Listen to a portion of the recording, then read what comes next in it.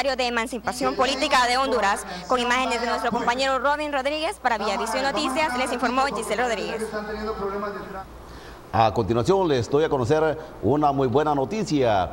Ya inició el tour de la Copa del Mundo en Brasil, ya que nuestra selección nacional está a un paso de clasificar a esta gesta mundial del fútbol donde como parte de las actividades que anteceden la Copa del Mundo Brasil 2014, la FIFA y el sistema Coca-Cola inauguraron en Brasil el Tour del Trofeo de la Copa Mundial de la FIFA, un evento único e innovador que permitirá a más de un millón de personas conocer el trofeo más reconocido del fútbol mundial y vivir esta experiencia en sus países. El Tour de la Copa Mundial de la FIFA comenzó su recorrido por el mundo con una ceremonia oficial de lanzamiento en el Monumento de Cristo Redentor en Río de Janeiro, Brasil, en presencia de Michel Dadovic, gerente general de la Copa Mundial FIFA 2014 de Coca-Cola de Brasil, Thierry Will, director de mercadeo de la FIFA, Ricardo Traidey, gerente general del comité organizador local de la FIFA y cinco campeones de la Copa del Mundo, representantes cada uno de los cinco países de Brasil, Zagalo, Amarildo, Rivelino, Bebeto y Marcos. Así que la Copa Mundial estará también en nuestro país. Llegará en horas de la mañana, el día lunes 30 de septiembre, al aeropuerto San Pedrano Ramón Vieda Morales y el primero de octubre será exhibido al público ganador desde las 8 de la mañana en el Museo Infantil Chiminiqui en Tegucigalpa. Así que les doy eh, ciertos tips de la Copa del Mundo. Mide 36.8 centímetros, o sea, 14.4 pulgadas. Pesa 8.175 kilogramos, o sea, 13.6 libras. Está hecho con 5 kilogramos, o sea, 11 de oro sólido de 18 quilates con una base de 13 centímetros, o sea, 5.1 pulgadas de diámetro con dos anillos concéntricos de malaquita. Así que en estos momentos usted puede llamar y será acreedor de dos boletos, pases dobles, para que usted asista a ver de cerca la Copa Mundial que se disputará en Brasil 2014 y allí estará, por supuesto, nuestra bicolor nacional, nuestra selección amada Honduras. Así que después de la pausa comercial les daremos a conocer a ustedes cómo pueden eh, ser partícipes de estos dos boletos que tenemos el día de hoy. Así que usted podrá ver de cerca la Copa Mundial Brasil 2014, nosotros como medios de comunicación ya estuvimos en una ocasión cuando vino por primera vez a Honduras.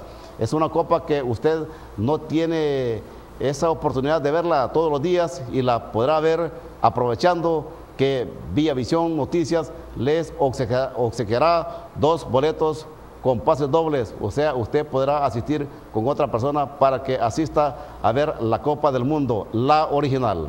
Y con esta muy buena información es momento de cumplir nuestros segundos compromisos comerciales. Hermosos días a pintar esta preciosidad para Villanueva. Generó la información Villavisión Noticias, Robert Rodríguez Douglas Padilla. Bien, así que agradecemos las llamadas telefónicas a nuestro medio informativo. Queremos decirles que el día de hoy solamente tenemos dos pases dobles de cortesía para asistir a ver la Copa del Mundo, pero tendremos más en nuestros próximos programas y noticieros.